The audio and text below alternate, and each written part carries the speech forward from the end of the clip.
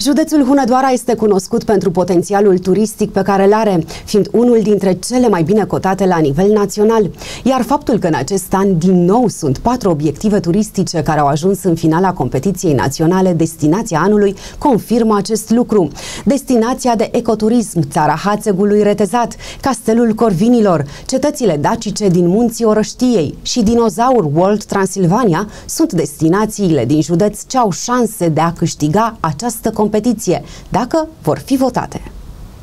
În județul Hunedoara, patru obiective au ajuns în finala competiției Destinația Anului. Astfel, la secțiunea Distracție și Aventură, Dinosaur World Transylvania, la atracții cultural-educative Castelul Corvinilor, la secțiunea Tărâmuri cu tradiție și istorie, cetățile dacice din Munții Orăștiei, iar la secțiunea Regiuni ecoturistice, Țara Hațegului Retezat. Ne bucurăm că munca noastră este în primul rând recunoscută în cadrul cele mai importante competiții din turismul românesc.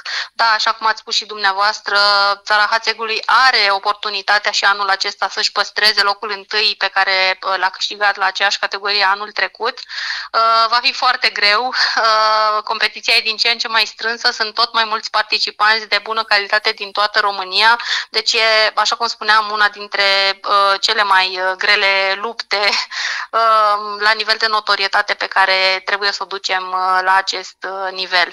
Ne bucurăm că sunt înscrise anul acesta și alte obiective din județul Hunedoara. Asta înseamnă că turismul din județul Hunedoara este din ce în ce mai cunoscut, din ce în ce mai apreciat și uh, le urăm succes și celorlalți competitori înscriși. De menționat faptul că cele patru obiective turistice din județ nu concurează la aceeași secțiune, astfel că vor putea fi votate de către hunedoreni și nu numai mai pe platforma www.destinațiaanului.ro.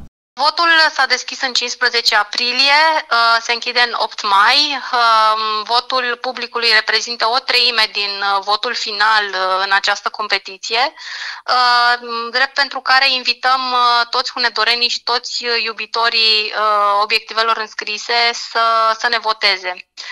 Votul înseamnă că fiecare persoană poate să dea credit trei, a trei obiective obiective înscrise în competiție. Uh, noutatea este că cele patru uh, obiective hunedorene sunt înscrise la categorii diferite, deci nu, nu suntem uh, competitori direct, nu ne batem pentru același premiu, deci încurajez în primul rând hunedorenii că na, noi trebuie să simțim, să votăm cu locurile în care trăim. Câștigătorii competiției vor fi desemnați în data de 21 mai la Ateneul Român.